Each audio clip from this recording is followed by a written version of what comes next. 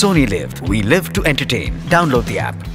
पूरा एपिसोड देखने के लिए सोनी लिव ऐप डाउनलोड करें। Sony Liv we live to entertain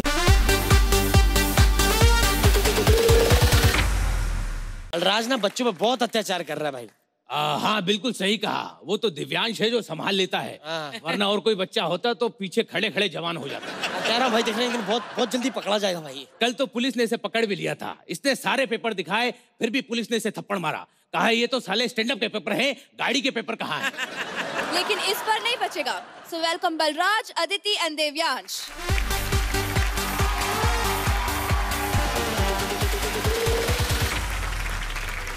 हाँ मम्मी। मम्मी। हाँ मम्मी अच्छा है। हाँ मम्मी ये भी अच्छा है। हाँ मम्मी अच्छा है। आज मम्मी स्टैंड अप कर रही फ़ोन पे। हाँ मम्मी अच्छा है ये भी अच्छा है। आप सोच रहे हो कि मैं रो ही रहा हूँ। पापा की छाती पे खड़े हो गए स्टैंड अप कर रही सुहेल भाई पापा ने गलती से सर्कस देखते हुए पता है, ये बोल दिया अरे करिश्मा टीवी पे कब से आने लगी? तब से पापा की छाती पे खड़ी हो गई स्टैंड अप कर रही। मम्मी पापा की गलती नहीं मेरे मोबाइल में देखा होगा उन्होंने। मम्मी प्लीज़ माफ़ कर दो आज किड स्पेशल है ना प्लीज़ माफ़ कर दो। हेलो हाँ। मम्मी बैठे हैं सुहेल भाई? अर्चना जी भी बैठी। मम्मी आपकी कसम इन दोनों के बीच में कुछ नहीं है। काफ़ी स्पेस है बीच में। सुहेल भाई कसम को आपके बीच में कुछ नहीं है ना? कुछ नहीं है। मम्मी कोई गेस्ट नहीं आया दोनों अकेले हैं आज। हाँ, ठीक है मम्मी रखता हूँ। सुहेल भाई किड स्पेशल कहते हैं बच्चे भगवान का रूप होते हैं। और हमारे देश की 120 करोड़ की आबादी इस बात को प्रूव करती है कि हम भगवान को कितना मानते हैं। मतलब हम भगवान को इतना मानते हैं जो आदमी नास्तिक है ना उसके घर में तीन तीन चार चार छोटे छोटे भगवान घूम रहे हैं। लेकिन सुहेल भाई जो स्कूल के टीचर होते हैं ना वो इस बात में बिलीव नहीं करते कि बच्चे भगवान का रूप होते हैं। पूछो क्यों? क्यों? कौन सा भगवान है जो सुबह सुबह क्लास के बाहर मुर्गा बना होता है? कुछ बच्चे होते हैं बदतमीज हैं उनको सदा मिलनी चाहिए सुहेल भाई। पता है कल मेरे को एक बच्चा मिला कहता अंकल मेरे को सुसु नहीं आ रही एक बार सीटी बजा दो। मैंने सीटी बजाई कहता आंटी आपको छेड़ रहा है देखो। यकीन मानो सुसु उसको आया था, लोगों ने मार मार के पेंट मेरी गिल्ली कर दी। अर्चना जी, आजकल इतना माहौल खराब हो गया है। आपको पता होगा, स्टेशन पे छोटे छोटे बच्चे पॉकेट मारते, पकड़े जाते हैं। देखा होगा आपने। मैंने यही कंफर्म करना था, आप ट्रेन से आती ना। लेकिन मेरे हॉस्टल में ना सुहेल भाई, बड़े शैतान बच्चे सुहेल भाई। पर मेरा ये मानना है, बच्चे कितने भी बिगड़े हो ना, उनसे प्यार से डील करना चाहिए।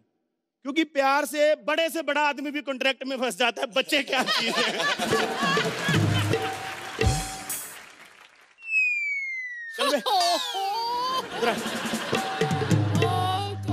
पता है इसके मुँह पे टेप क्यों लगाई मैंने? मुँह से गुड़ गुड़ करके कहता अंकल, मैं पंचर हो गया, मेरा पंचर लगा दो। भाई, दुनिया में कुछ भी हो जाए, बच्चों के साथ आपको ना ज़बरदस्ती नहीं करनी चाहिए। बच्चे कोई भी शरारत करते हैं बच्चों को बिठाओ बैठ के बात करो। ये देखो पिछले दो घंटे से बैठा हुआ है। इधर आ इधर आ। बहुत फिट बच्चा ये। चल खड़ा हो जा अभी अंडा देगा। इतने बदतमीज बच्चे पता है मुर्गा क्यों बनाया मैंने? क्यों? मेरी कमोड की सीट पे गम लगा के भाग जाते हैं। अर्चना जी मेरी फालतू में बदनामी कर दी इन लोगों ने कहते बलराज का स्टैंड अप के साथ साथ सिट डाउन भी लंबा हो रहा है। चलो भाग यहाँ से। मैं बड़ी पेशेंस रखता हूँ कि बच्चों पे हाथ नहीं उठाऊं, लेकिन मैं भी इंसान हूँ यार। कभी कभी मेरे को भी गुस्सा आता है, मेरा भी मन करता है, मैं जूता निकाल के ना मारूं इन लोगों को। इस-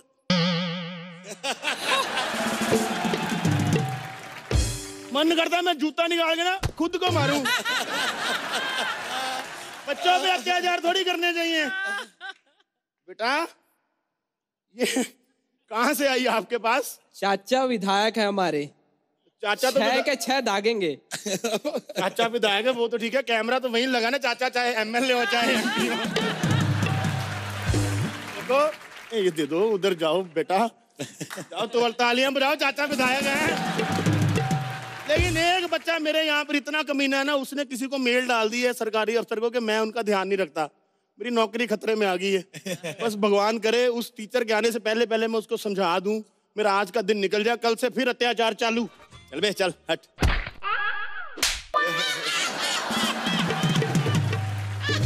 देखिए अर्चना जी पहली बार में नीचे आ जाता तो सिर्फ़ थप्पड़ पड़ता है ना? तेरे को शर्म नहीं आती अपने से बड़ों पे हाथ उठाता तू? हैं? सॉरी कितने बदतमीज बच्चे आजकल के मतलब? सर जी! क्या हो गया? आप सीरियस लेके मेरी बात? देखो जो करना अभी कर लो। एक ना वो सरकारी अफसर आने वाली उसके सामने बदतमीजी नहीं करना। पाँच सौ रुपये दूँगा आपको। पाँच सौ रुपए देगा है? पर्स में तेरे दस रुपए नहीं पाँच सौ रुपए देगा तू एक मिनट। मेरा पर्स तेरे पास कैसे आया बे? जब तू अभी नीचे झुका था ना तब तेरी पॉकेट मार ली थी मैंने। अरे यार तू सिर्फ़ एक पर्स के लिए इतना चूचा कर रहा है। बगल में शर्मा जी की मैंने ज़ुबान काट दी। पता है उन्होंने एक शब्द तक नहीं बोला। देखो तुमने भी एक शब्द नहीं बोलना है। वो जो सरकारी टीचर आ रही ना उसके सामने अच्छे से बिहेव करना फिर मैं तुम्हें हॉस्टल से छुट्टी दे दूँगा। हेलो मेरी पढ़ाई ना एक साल पहले खत्म हो गई थी। बस दो हज़ार रूपए मैंने इसे उधार दिए थे। वही लेने के लिए अभी रुका हूँ। फटाफट फटाफट उनको छुड़वाओ और खुद को फांसी पे लगाओ। मैं ना बच्चों का ध्यान रखती हूँ स्ट्रगलर्स का नहीं। मैडम हाँ। ये लाइन आप तीसरी बार बोल रही हैं। जब तक ये स्टार नहीं बन जाता ना तब तक बोलूँगी। अरे। मैडम मतलब ज़िंदगी भर बोलेंगे आप? जी। मैडम आप पारितोष को स्ट्रगलर बोलना बंद करो रिहर्सल पे आना शुरू करो। हो सकता है आपको नई लाइन दे दें हम लोग। तुम बकवास बंद करो ओके? क्या करने आई आप यहाँ पे? मैं इंस्पेक्शन करने आई हूँ। जो हम तुम्हें फंड देते हैं बच्चों के लिए वो तुमने कहाँ खर्चा किया है हाँ? कौन सा फंड सुहेल भाई दो साल पहले फंड पास हुआ था। फंड का भी एक रुपया नहीं आया इंस्पेक्शन करने चार लोग आए साले। Excuse me who are you कातिल मुजरिम गुनेगार वांटेड मैडम ये थोड़ा फिल्मी बच्चा है। ये बात बात पे फ़िल्मों की प्रमोशन करता है इसको इग्नोर करना आपने। इसने तो इस आदत के चक्कर में ना ऐसी फ़िल्म का नाम बोल दिया इसके माँ बाप का तलाक हो गया। कौन सी फ़िल्म? वो सात दिन। अरे वो देख के कैसे तलाक हो सकता है? इसने बता दिया ना मम्मी को कि वो सात दिन जब पापा घर में अकेले थे तो किसको लेके आते थे? तुम लोग बकवास बंद करो और छोटू मेरे पानी का हाँ, अभी लाता हूँ। जा बेटा मैं तू क्यों लेगा? मैं देता हूँ मैडम ये लो। अरे वाह। माना शक्ल तुम्हारी जानवरों जैसी है लेकिन दिल साफ़ है बच्चों को काम नहीं करने देते ये बहुत ही प्यारा बच्चा है ओके ओए मेरा गुजू गुजू मेरा बेबी है छोटू। मैडम शादी होगी आपकी? जी ये देखो ना मेरी रिंग। मेरी रिंग कहाँ है? ये मेरी रिंग कहाँ है? ये जिस क्यूट बच्चे को आपने यहाँ पर जफ्फी डाली उसी ने आपका ब्रेकअप कराया अभी अभी।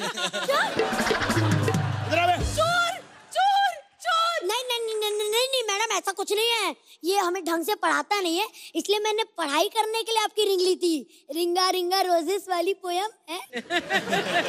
आ जरा। सुहेल भाई पोएम के नाम पे कुछ भी बकवास करता है। हाँ। आपने वो पोएम सुनी जोनी जोनी यस पापा? हाँ। इसका वर्जन सुनना? सुना जॉनी जरा। Johnny yes papa. Eating sugar no papa. Telling lie no papa. Open your mouth Archana. बदतमीज आदमी ओपन योर माउथ हा हा हा। हाँ तो इनसे बड़ा हा हा हा किधर मिलेगा? अरे यार तुम लोग बकवास बंद करो और मुझे चेयर तो पूछो यार कोई बिठाएगा मुझे? आओ मैडम बाथरूम चलते हैं। बाथरूम पूरे हॉस्टल में बैठने वाली एक ही सीट है वो बाथरूम में लगी मैं क्या करूँ यार हो क्या होता है? कितना बुरा हाल है हॉस्टल का सुहेल भाई पैसा आता नहीं कहीं से कहाँ से मेंटेन करेंगे? मंत्री जी ने भेजे थे ना दो करोड़ बच्चों के पास कराए थे वो कहाँ गए? जिन बच्चों के लिए पास हुए थे वो मंत्री जी के अपने थे वो ऑक्सफोर्ड में पढ़ रहे हैं वहाँ पे। हमारे पास तो ये देखो इधर ये सतारह रुपए का चेक दे दिया हमको। सतारह रुपए का चेक मैं बैंक लगाने का कहते पाँच हज़ार लाओ पहले अकाउंट तब खुलेगा। बता बे इसको। हाँ तू उर्दू में बोल रहा था जो इसको समझ नहीं आएगा और वैसे भी हमें ना फ्रेश लाइन दिया कर तेरी बोली हमने रिपीट नहीं करनी। नहीं करनी। नहीं करनी इधर आ जरा ज़्यादा बदतमीजी कर रहा है ना तेरे को आज खाना नहीं मिलेगा समझा? हाँ तो वैसे कौन सा खाना देता है तू? मैडम खाने के नाम पर सिर्फ़ गालियाँ खाने को मिलती है हमें। तमीज आदमी। ओए टिंकू! ओए इधर ए, बच्चों से थोड़ा आराम से बात करते हैं हाँ। ये ठीक है मैडम? तो बदतमीज आदमी हो। अरे इसके लिए तो अलग टीचर लगेगी तुम क्या संभालोगे बच्चों को? आदमी है इसी सब के चक्कर में इसने पैसे कहीं और खर्च कर दिए हैं। मैडम, इतना ज़्यादा बदतमीजी है, इसका खुद पढ़ाई में मन नहीं लगता। कल मैंने बोला A for apple B for banana बोल। कहता, नहीं A for A B for तेरी बहन मेरे कब्जे में है। सी फॉर छुड़ाना है तो पैसे दे।